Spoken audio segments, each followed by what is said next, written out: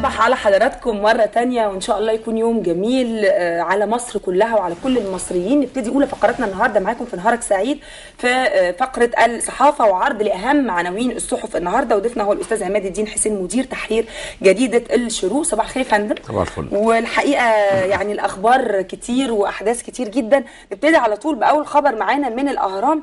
الحكومة تتعهد بالتصدي بقوة للتحريض والبلطجة وخطة صارمة لتأمين الانتخابات. والله أنا كل مرة الحكومة بتقول إنها تتعهد بالتصدي البلطجه بدأت اقلق يعني ما فيش مرة قالت إن إحنا بنتعهد وهنتصدى البلطجه واللي بيحدث بعدها إن البلطجة بتزيد.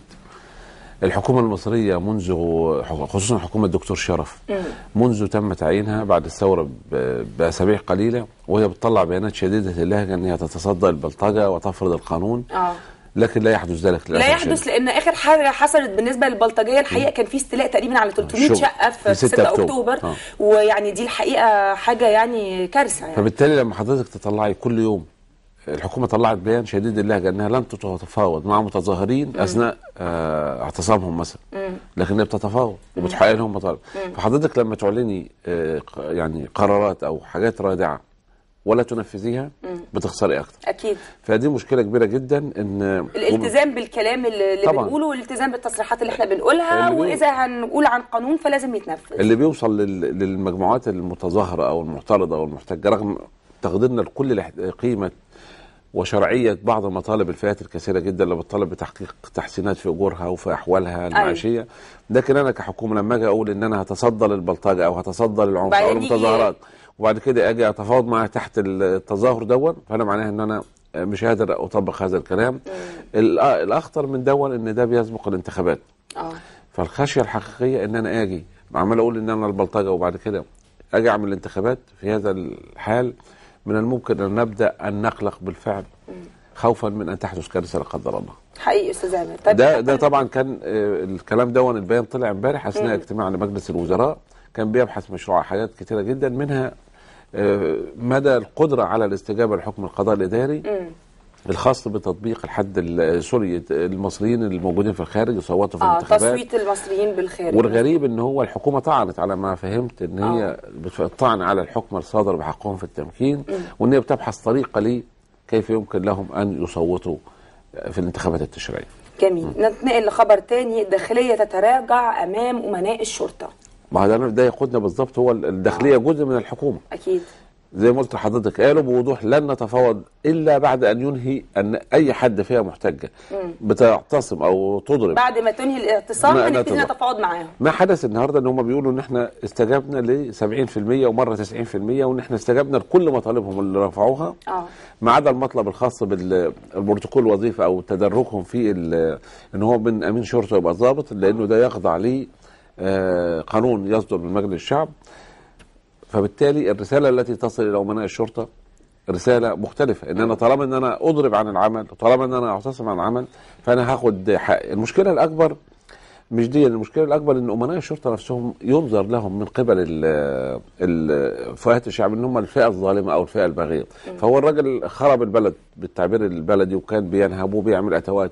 مش كلهم طبعا. بعضهم لهم المطالب المرفوعة من قبل امناء الشرطة طبعا هي مطالب عادلة طبعا مطالب عادلة بمنطق إن هو يس... آه من حقه إنه يتعالج من حقه إنه يتعامل ياخد راتب جيد. إنه يبقى عنده ياخد. راتب كويس عشان ما ياخدش آه. رشاوي من الناس صباح بالظبط. الخير وكل سنة وأنت وأنت طيب وال... هو ما بيقولش صباح الخير. ما كانش آه، بيقول صباح يعني- الخير كان يعني القفا على طول وبياخده طيب معانا خبر تاني أستاذ عماد وهي فتنة العدالة تتواصل المحامون معتصمون القضاة ممتنعون المحاكم مغلقة ده عنوان الشروع على ما أظن آه. ودي كارثة كبرى.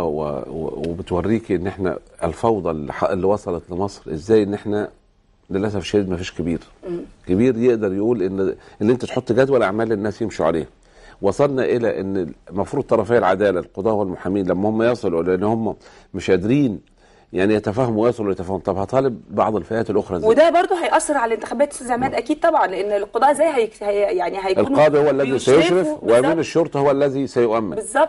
فبالتالي يعني في خشية انه يكون فيه ثمه آه في. احتمالات إن الانتخابات تتلغي أو وال- تتأجل؟ والله ليس في مصر ليس مستبعدا أنا كنت قرأت أن أحد الخبراء أو الكتاب سأل أحد أعضاء مجلس عسكري ماذا لو حصل لا قدر الله حادث مأساوي مثلا ووقع فيه ضحايا كثيرون.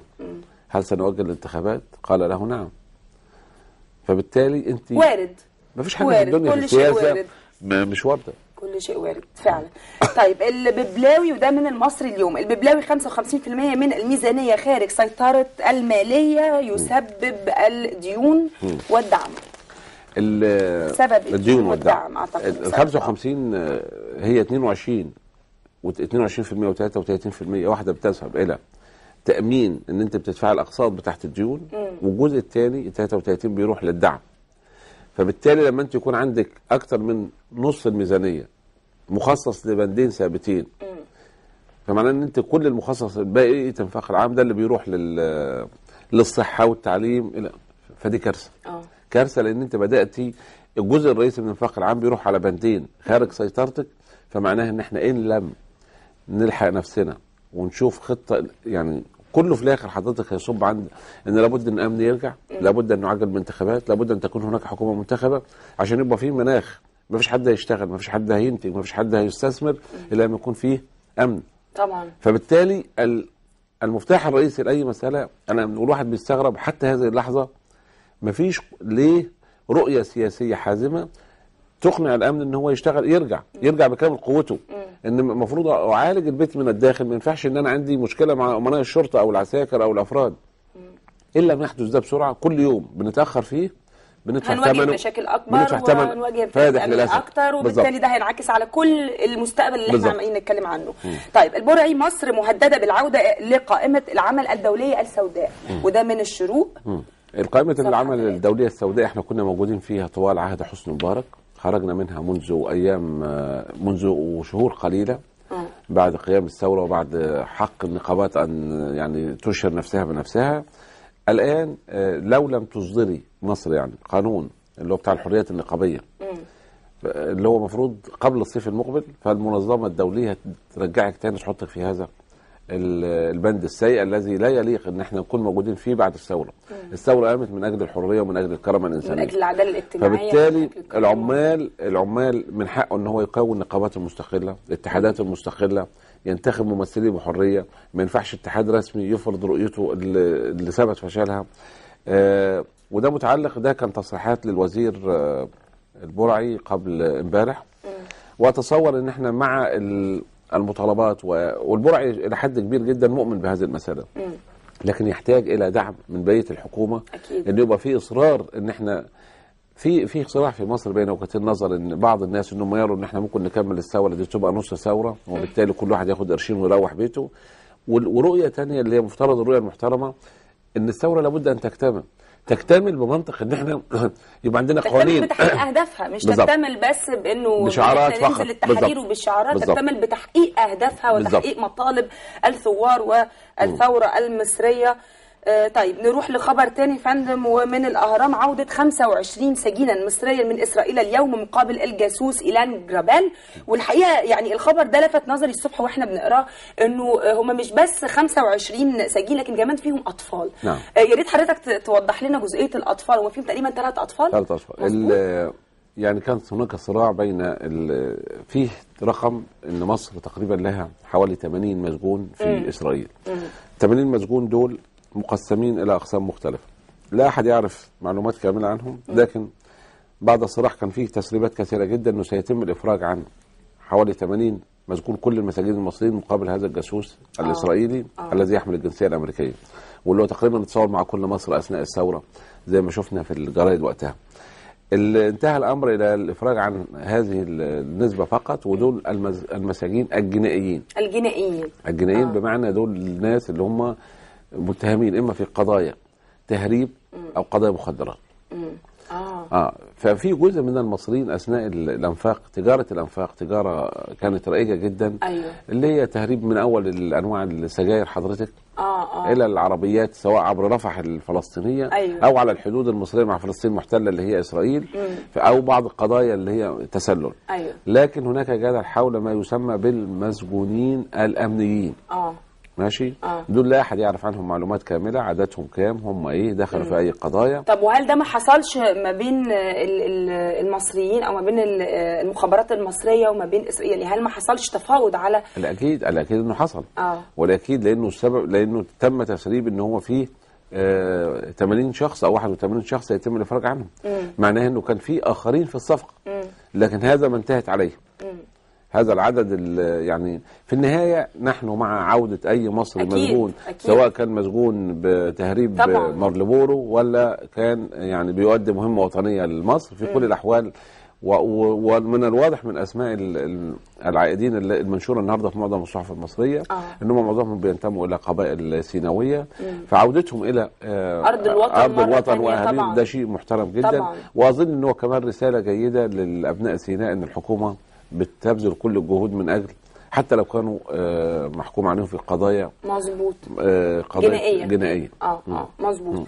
آه طيب معانا خبر تاني يا فندم من الشروق وهو سبع سنوات حبسا للمخبرين قاتلي خالد سعيد. الحقيقة الناس وتحديدا أهل آه، شهيد يعني خالد سعيد آه، آه، يعني مستائين جدا وصرحوا بده إن هم في شدة استيائهم. الحقيقة من الحكم اللي نطق بسبع سنوات حبس بس آه، بالرغم من إن هم يعني كانوا بيصروا على قتله وبيصروا على إنه خالد سعيد ده لازم يتقتل.